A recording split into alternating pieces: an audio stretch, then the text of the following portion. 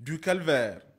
Plus que le mot, c'est le quotidien des riverains et usagers de la route Nouveau Pavé d'Ar Islam, aujourd'hui en plein cœur de la ville de Niamey.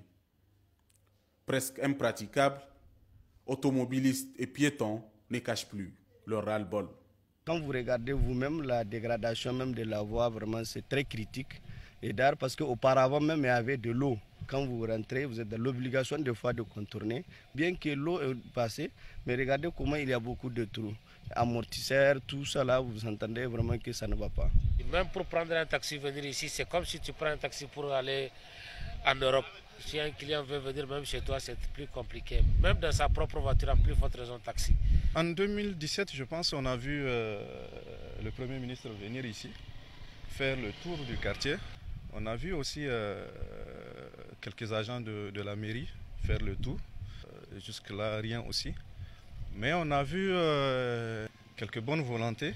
Je parle ici du directeur de l'SKE, qui à un moment avait pris des camions. Donc ils ont pu amener une dizaine de voyages de la pour que le, les gens puissent passer.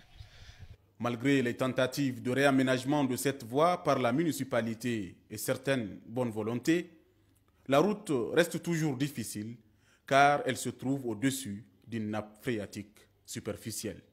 On a constaté qu'il y a une remontée des eaux par capillarité.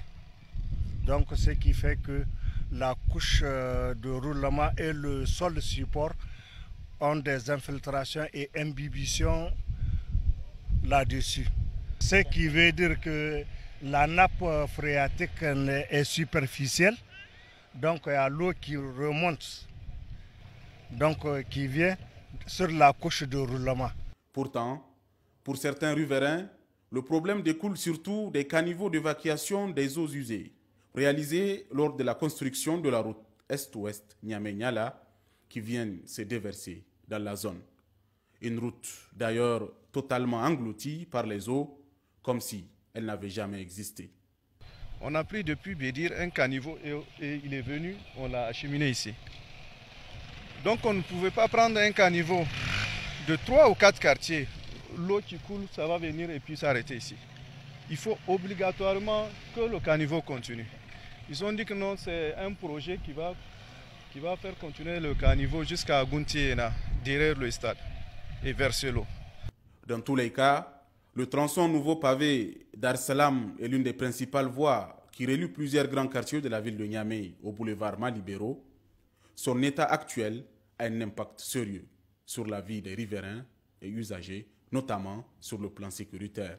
Comme ça, là, ça ne va pas. Là. Les gens s'ouvrent. Maintenant, à 22h, tu ne peux pas passer par là. Il y a des voleurs. Mais si la route est bonne, quoi, chaque heure, tu peux, tu peux passer. Selon le directeur de la voirie et des réseaux divers, la ville de Niamey a pris en compte la réhabilitation de cette voie dans son budget 2022. Une réhabilitation qui peut se faire de plusieurs façons. Nous venons d'adopter le budget 2022. Donc, euh, nous avons prévu dans ce budget la réhabilitation de ce petit tronçon.